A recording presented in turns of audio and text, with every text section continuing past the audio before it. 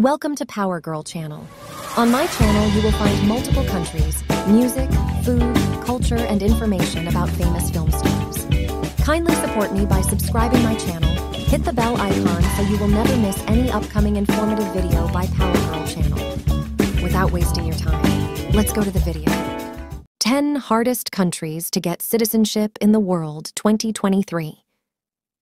Obtaining citizenship can be a difficult task in many countries.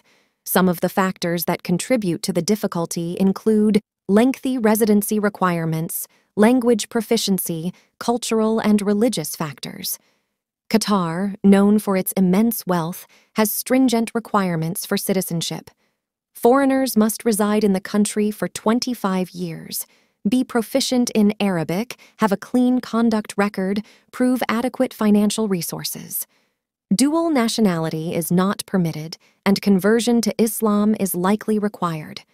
Vatican City, the world's smallest sovereign state, only grants citizenship under specific circumstances. These include being a cardinal, serving as a diplomat, being employed within the Catholic Church, 30 years for naturalization.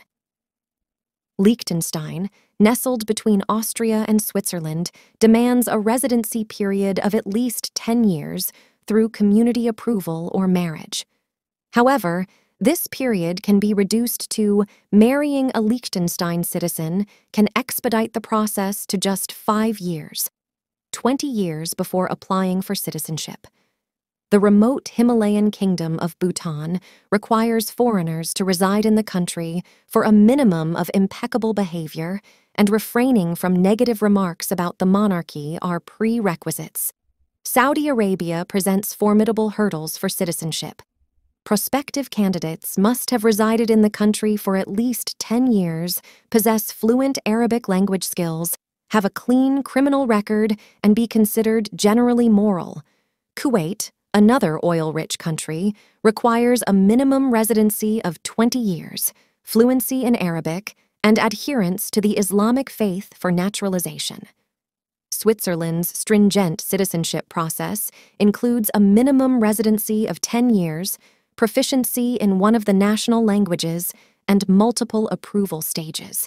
China's citizenship requirements are complex and primarily based on family ties or other legitimate reasons. The process is difficult to navigate, and there isn't specific duration of residency stipulated.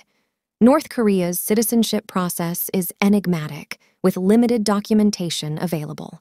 Dual citizenship isn't recognized, making it challenging to obtain citizenship.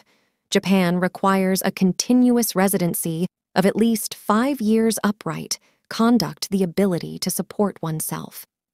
Dual citizenship is not recognized, but the language requirement is comparatively lenient. These countries have some of the most challenging citizenship processes in the world. Thank you for watching Power Girl channel. I hope you like my videos. Kindly hit the thumbs up button and share these interesting videos to your family and friends.